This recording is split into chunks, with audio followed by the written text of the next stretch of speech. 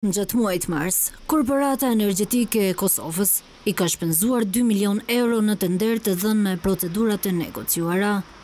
Madje kryeshefi i KEK-ut Nagip Krasniqi, i cili është tashmë në paraburgim nën dyshimet për vepra korruptive, ka lidhur kontrata njëburimore njëra prej të cilave kap shifrën prej gjashtëqind e njëzet e tetë mijë e katërqind e njëzet e pesë euro.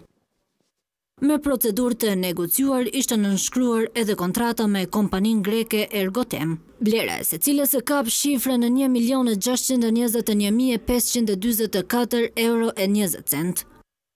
Menaxherja e projekteve për transparencë dhe llogaridhënie në Prokurim Publik nga Instituti Demokratik i Kosovës, Diana Metushi, thotë se KEK-u përdori emergjenca fiktive për dhënien e këtyre tenderëve. Trata njëburimore të arsyeton urgjencën një herë, mirëpo jo urgjencën në vazhdimësi, për shkak se ma nuk është urgjencë. është një veprim të cilin ti nuk po don si qeveri apo si institucion, si ndërmarrje publike me rregullu dhe po krijon emergjenca të panevojshme, që natyrisht për qytetarin, për shoqërinë civile, po edhe për organet e drejtësisë, duhet të ngrisë një flamur të kuq për rrezikun për korrupsion.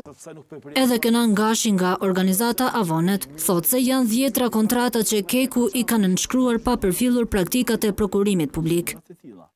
Transportin e punëtorëve të KEK-ut, relacioni Skenderaj-Drenas dhe anasjelltas e ka zhvilluar në këtë formë. Dhe kjo është njëra prej çështjeve tjetër. E kemi sigurimin e objekteve apo të objekteve të KEK-ut. Natyrisht e ka zhvilluar nëpër formës së negociuar pa publikim. Kurse Diell Haxhimusa nga organizata Demokracia Plus, thotë se shqetësues është fakti që edhe institucionet e tjera lëshojnë tenderë të negociuar për të cilat mungon inspektimi.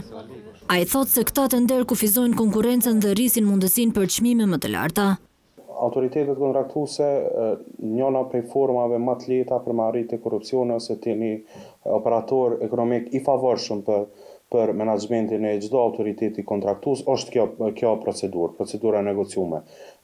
Se bohet veç me një operator, e thirr atë personin si ose atë operatorin ekonomik cili ty të konvenon edhe e negocion çmimin pa pas barriera tjera. Ministria e Infrastrukturës është njëra prej dikastereve që ka lidhur viteve të fundit kontrata të tilla, të cilat